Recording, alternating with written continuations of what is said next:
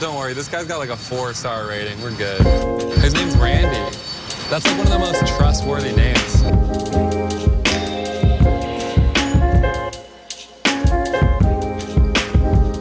Are you Randy?